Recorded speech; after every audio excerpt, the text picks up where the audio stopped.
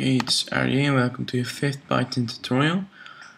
In this tutorial I'm going to show you how to run, save and create a Python file in something called raw input. Okay, so for creating a new file, go to File, New Window, and this would pop up.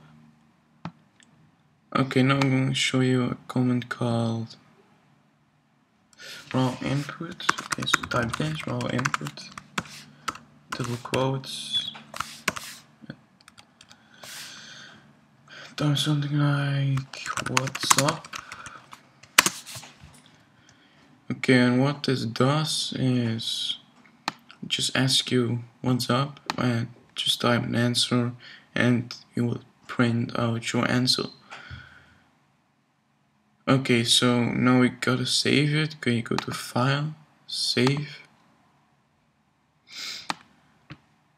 Okay, and save it as some file dot py.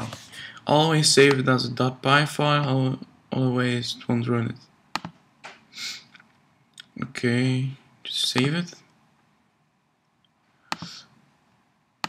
Okay, so if you have a Windows machine, you've got to run it with CMD.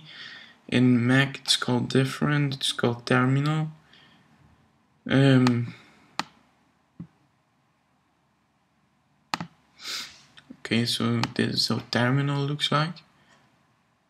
So if you use a Mac, just open up this program and run your file. Okay, so if you have a Windows machine, go to your Windows sign type cmd okay. So open it up.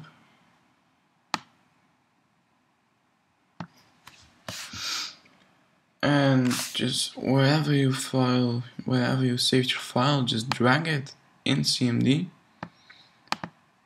and hit enter. Okay now he asks what's up. I'm fine and okay so you just run your own python file with a raw input comment okay so this was your tutorial about raw input and saving trading and running a python file. And i see you next tutorial